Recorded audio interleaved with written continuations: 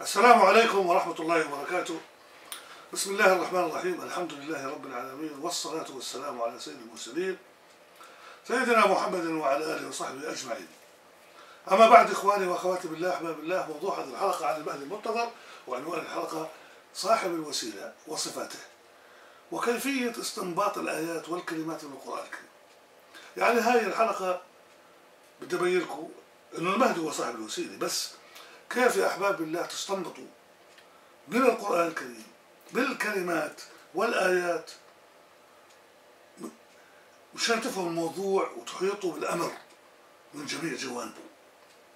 هذول اللي بقولكوا آه، احذروا تخطئوا آه، كذا آه، لا تدرسوا القرآن ابعدوا بس العلماء لا تردوا على الحكي. هذا الكتاب نزل إلنا كنا. وأنا تعلمت القرآن لحالي. ما قبلت أتعلم من حدا. لأنه إيش؟ وأن تطع أكثر من الأرض بضلوك أنا ما بعرف صاحب الحق ومين اللي قلبه مؤمن وما يعني لو سيدنا محمد موجود عليه الصلاة والسلام أو أنه موجود حوالي واحد من العلماء اللي أنا بثق فيهم يمكن أسمع له. بس تعرفوا الواحد مرات بيكون ما في حواليه حدا يفيده. فقلت أنا شو مش عارف طريقي إلى الله. الحل الوحيد القرآن الكريم. فدرست القرآن الكريم. مع المرور الوقت بتصير عندك. الله سبحانه وتعالى بيقول الرحمن علم القرآن اللي بعلمك الرحمن ذاته سبحانه وتعالى. علم الإنسان ما لم يعلم. يعني الإنسان بس يولد من بطن أمه ما في عنده علم بس بتعلم. من اللي بشوفه بسمعه وكذا فهمت علي؟ اللي بيحكي كلام جميل بصير كلامه جميل وإذا كان كلام بذيء بتعلم الكلام البذيء فهمت علي؟ واللي بتعلم التجارب بتعلم كذا فأنا بتعلم القرآن. كل ما أدرس القرآن مش بقراه زي الببغاء بس بكرره. لا بفكر بالحرف بفكر بالكلمة. بفكر في الموضوع في الآية في الصورة في القرآن كله. لازم ندرس القرآن ولازم نتدبر آياته ولازم نتفكر في آياته مشان نتوصل للعلم. كثير من الناس ما كانوا علماء. وسبحان الله مع دراسة ومثابرة وجهود تعلموا. بيجي واحد بيقول لك لا لازم تروح على جامعات وناس يعلموك. أنا ما بدي حدا يعلمني. أنا ربي اللي بيعلمني مش بس أنا الجميع. مع الوقت يمكن تتعتع في القراءة يمكن ما نعرفش تقرأ قرآن مضبوط 100% نتعلم مع الوقت. المهم مش بس القراءة المهم الفهم. عشان هيك فضلوا الفهم على العلم. ففهمناها سليمان. عشان هيك صار يعرف منطق الطير. وتحدث مع الحيوانات والطيور بمنطق. الفهم كما قلت لكم يعني الفقه. عشان هيك ومن يريد الله به خيرا يفقهه في الدين. أحباب بالله خلينا نيجي على موضوع الوسيلة. الوسيلة مذكورة بالاسم مرتين. بسورة المائدة 35 قال تعالى بسم الله الرحمن الرحيم. يا أيها الذين آمنوا اتقوا الله وابتغوا إليه الوسيلة وجاهدوا في سبيله لعلكم تفلحون.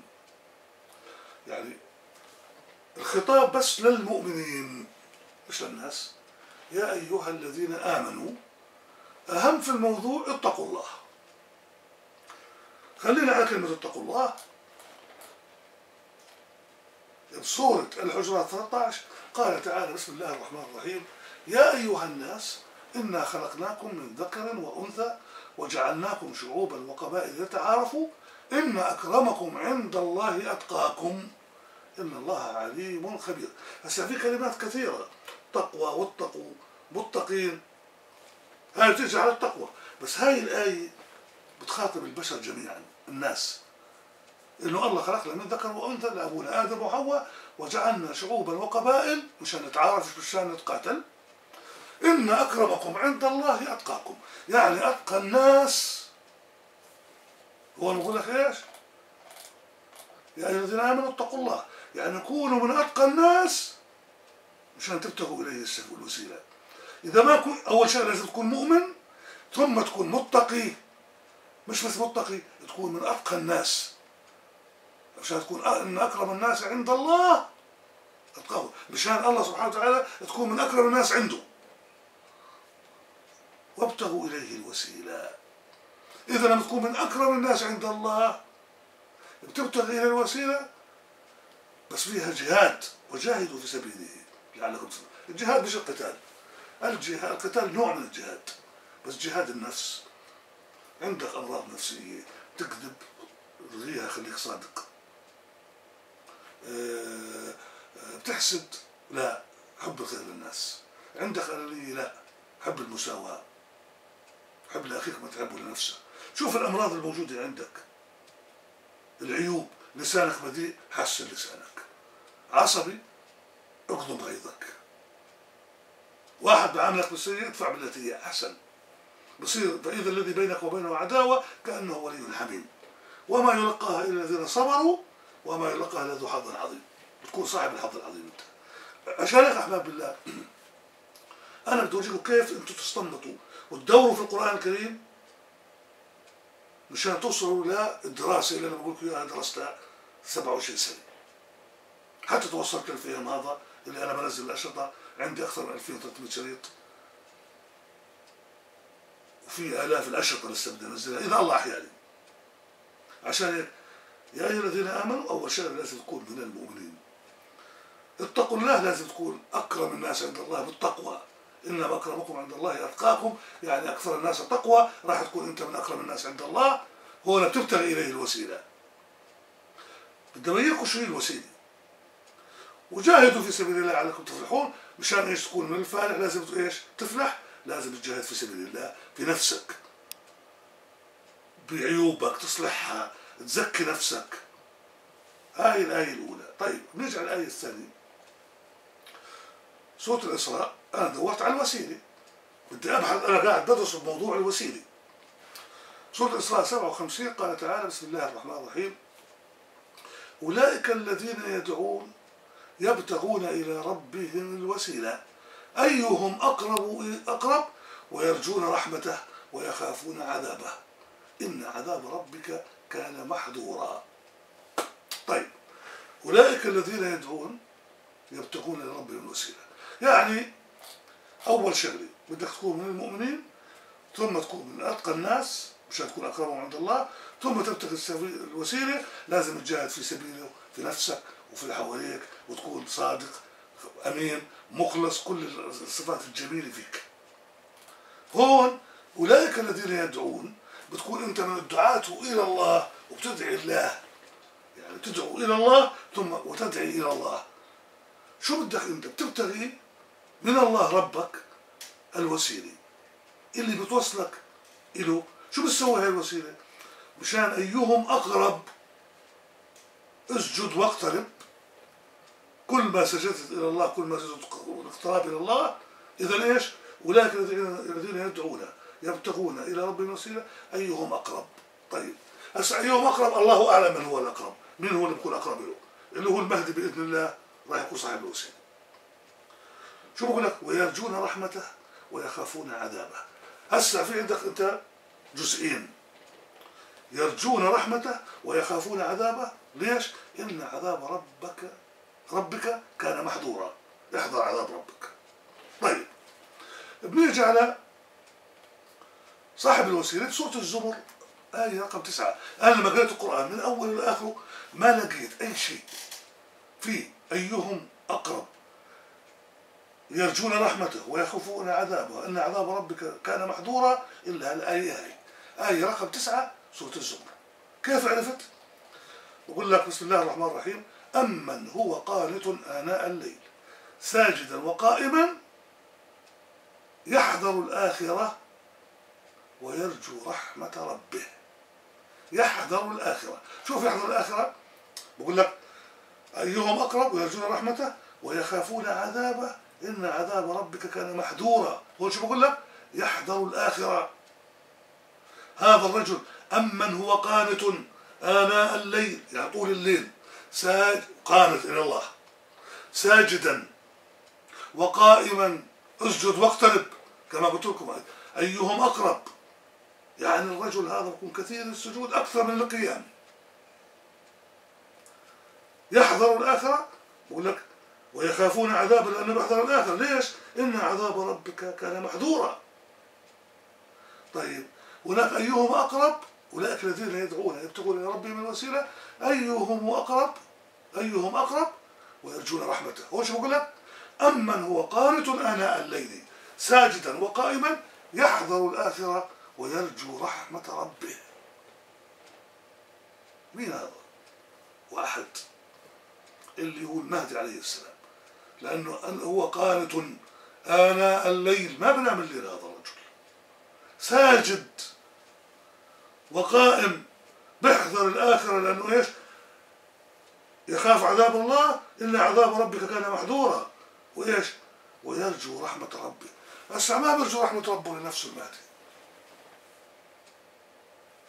بدور على رحمة ربه للمسلمين للبشرية.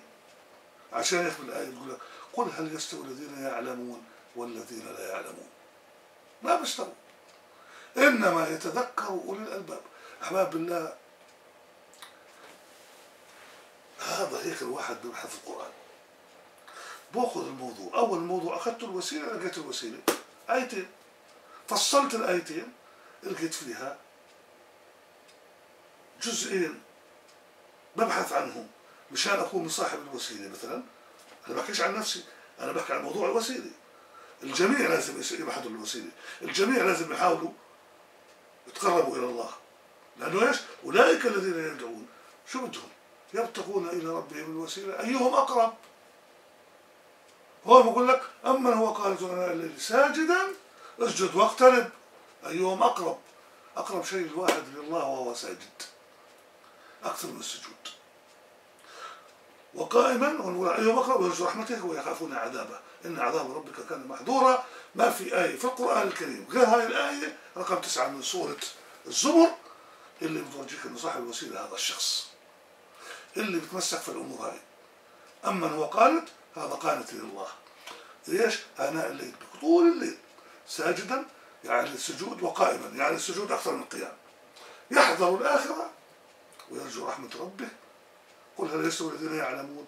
والذين لا يعلمون. إنما يتذكر أولي الألباب اللهم إني قد بيت لأحباب الله. كيف تدرس القرآن الكريم؟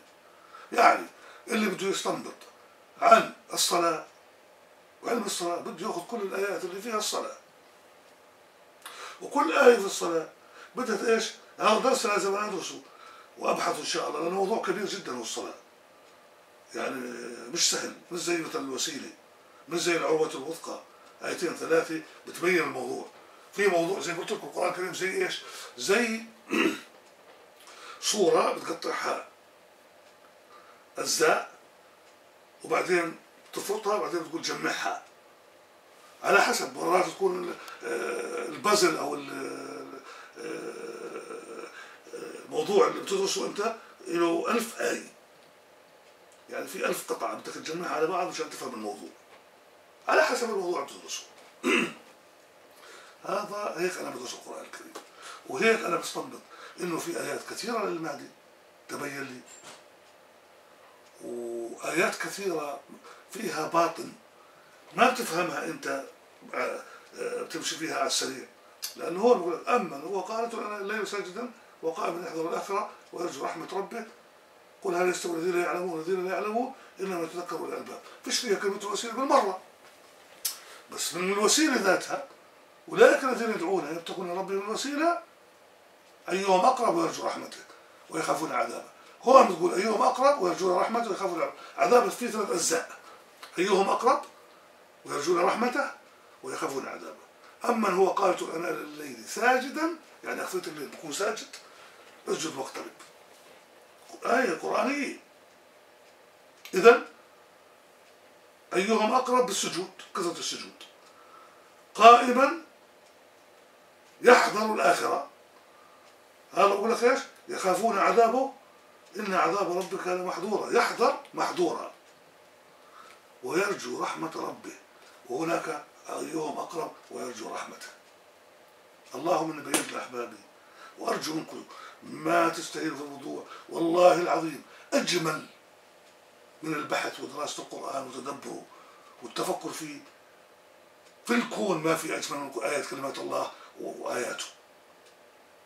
اللهم حببه في القرآن ولا تجعله من الهاجرين. اللهم اجعلنا الذين استمعوا القول فاتبعونا أحسنه. أستغفر الله العظيم لي ولكم. والسلام عليكم ورحمة الله وبركاته.